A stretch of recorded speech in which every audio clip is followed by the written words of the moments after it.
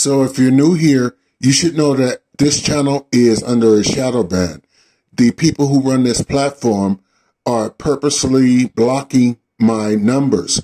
So I need you to like, subscribe, and share to combat this. Thank you in advance.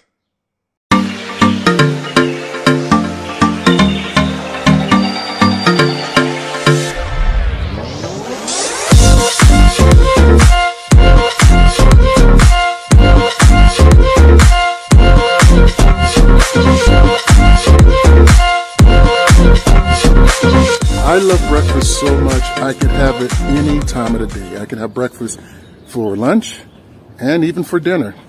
Now, back home, my breakfast in New Orleans, coming from the deep south, uh, usually consisted of eggs, bacon, toast, hash browns, and grits, something that is very hard to find here in Mexico. But lately, I've been taking a break from all that. It's a lot of calories.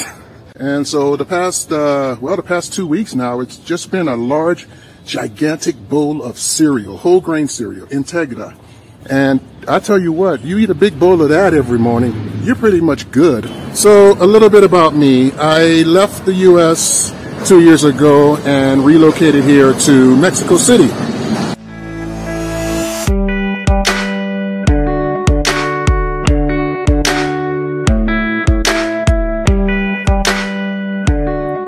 Spent some time reflecting on my life here in Mexico and comparing it to my life back home in the US. Speaking of which, I should probably share that story. My dog Pepper and I arrived in Mexico City in December of 2020. I first arrived in La Condesa, Mexico. From there we went to Querétaro. Then we went to San Miguel de Allende. San Miguel de Allende has some of the best food in Mexico, hands down. So this is Cafe Bohemio. Come eat here, trust me.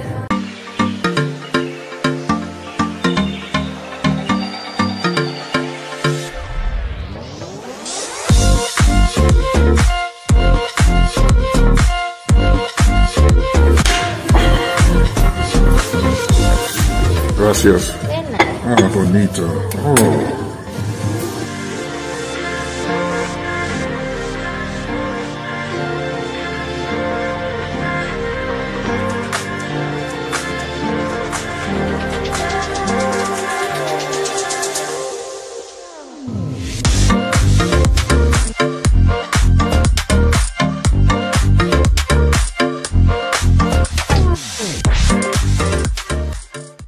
I'm not easily impressed. I'm impressed with this place. Come here. I promise you, you won't be disappointed. And uh, from there, I went to Guanajuato City. Just wonderful, wonderful college town. So I'm going to do it for the first time in seven months. I'm going to take a day trip to Guanajuato City because daddy needs a break.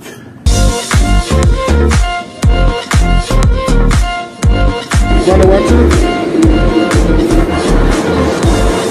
It's town board.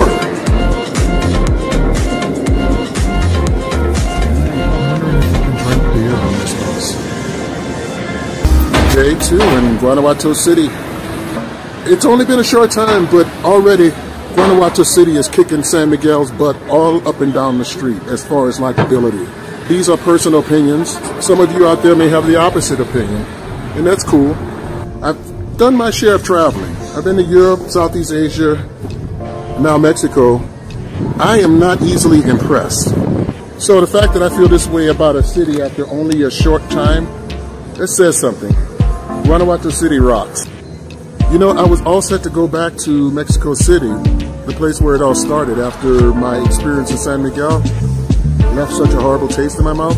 But I tell you, I may have to take a detour and uh, stay here in Guanajuato City for a while.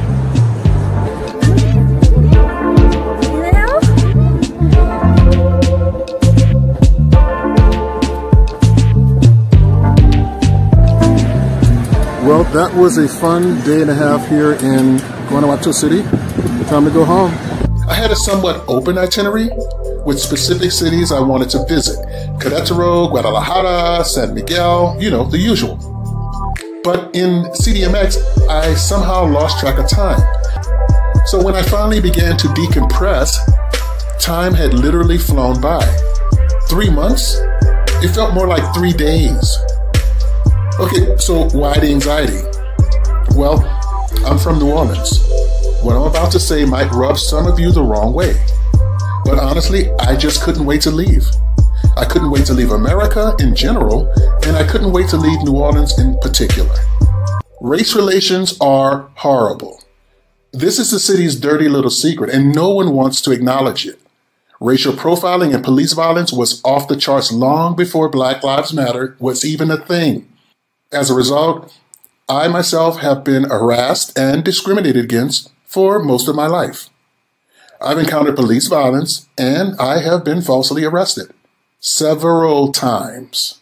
Something that I'm very passionate about that I think gets uh, overlooked in modern society is unity.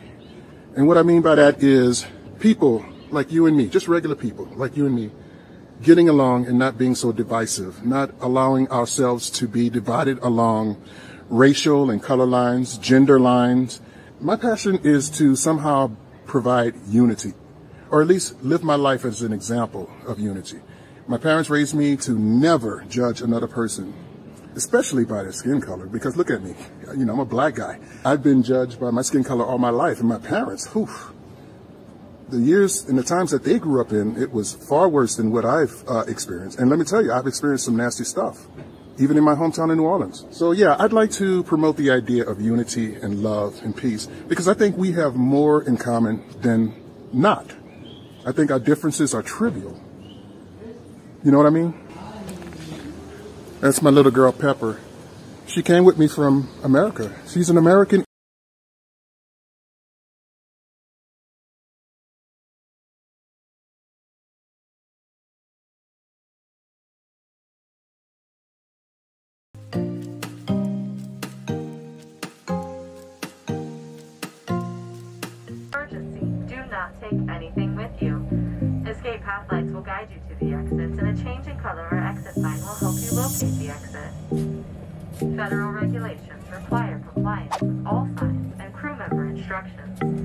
Smoking and using e-cigarettes. Or smokeless...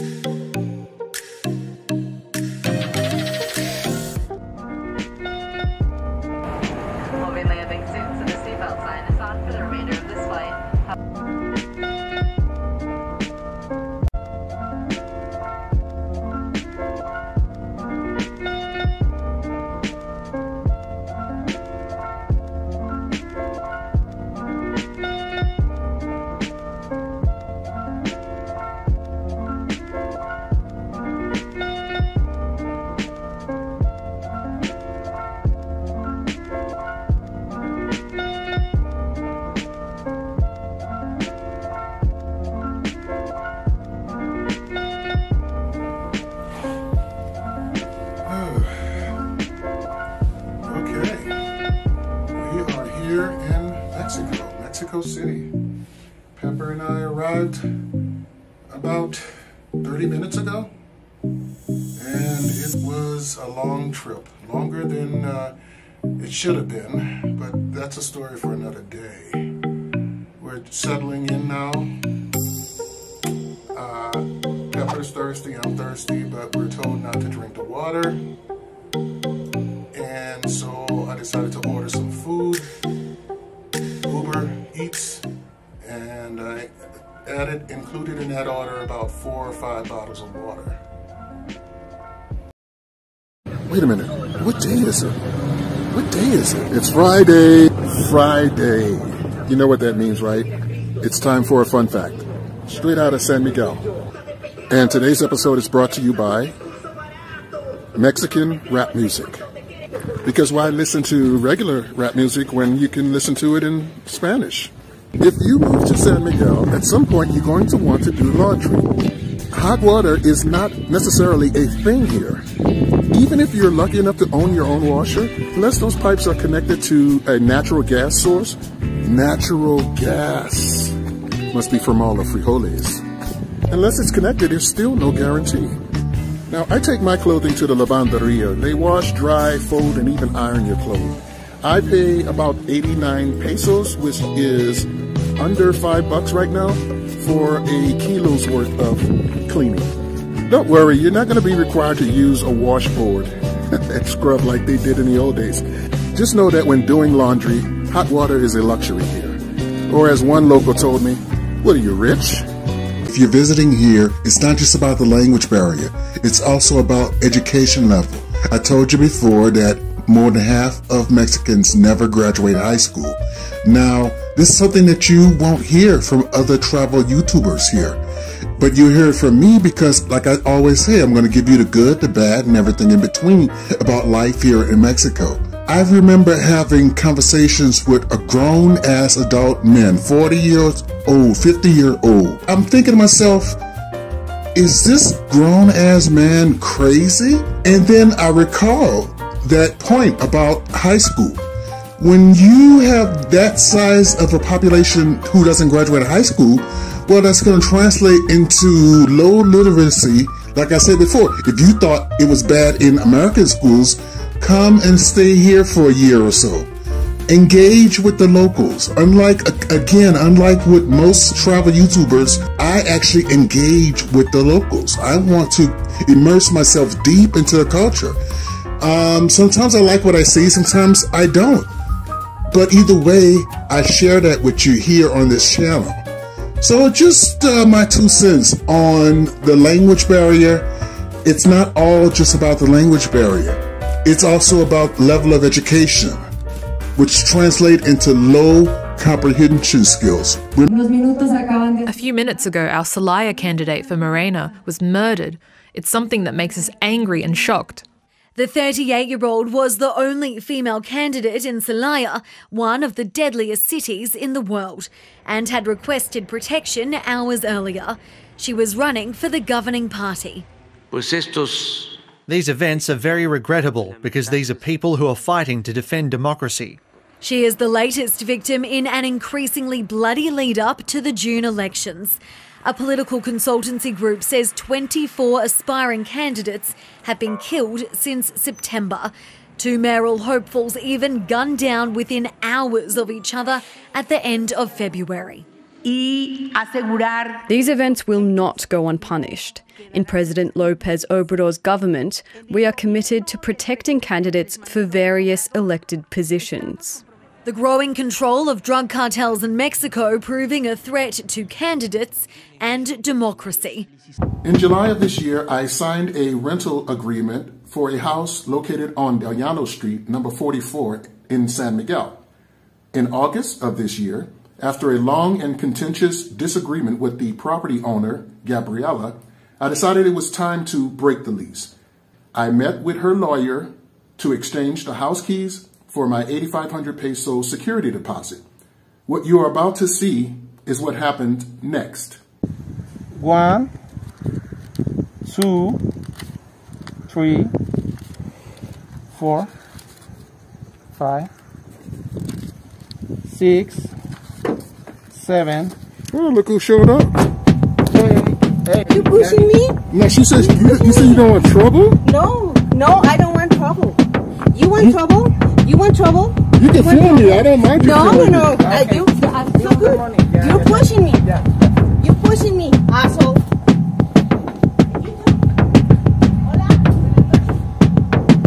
I have your money, please. Yes. I, what the hell is going on here?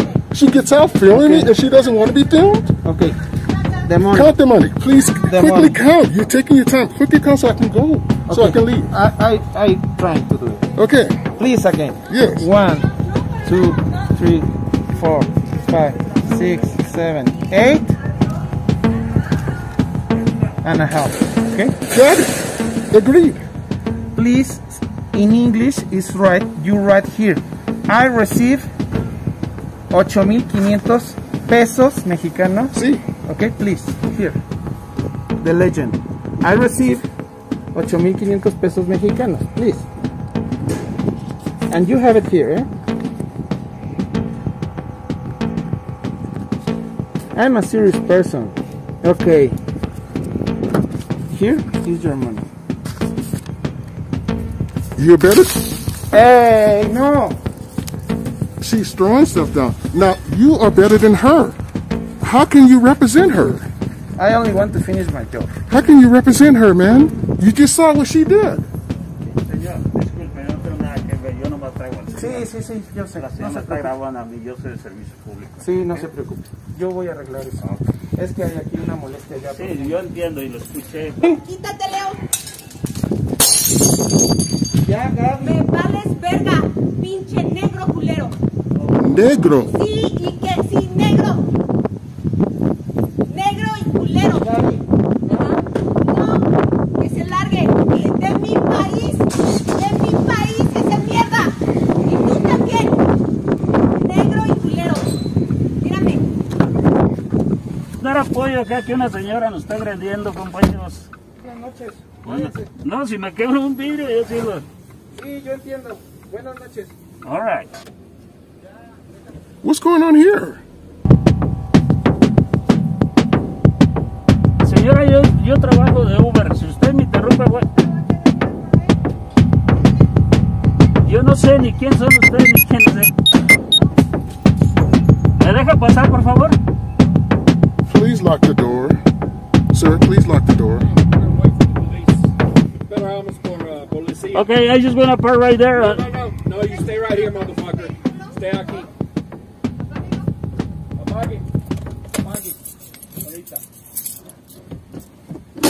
I got a fucking 9 millimeter. And I don't know whether you want it or not. But No, you yeah, better I- stop I- right where you are. Yeah. Okay? The Police are coming. Problem's not with you, but this son of a bitch right. I didn't say nothing at all. I didn't say nothing. Don't move. So it appears that I'm being held hostage. I came here to collect my security deposit. I signed the release. She showed up in the back seat of the lawyer's car, called me outrageous names, went into the apartment, went into the house, and then proceeded to throw things at me from the balcony.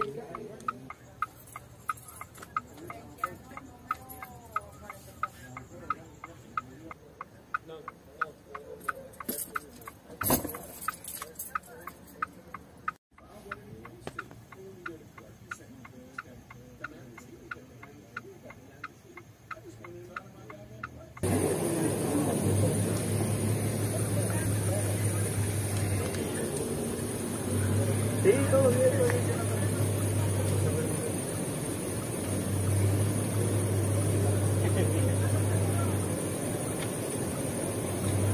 just showed them the video, right? Yes, yes. Okay. But I don't understand. They, the police came out here Because they called them. Right. They called them, but the police was here, and it's they've been here. It's 30 minutes later. What what is the result? What what? Is, I really don't know, my friend.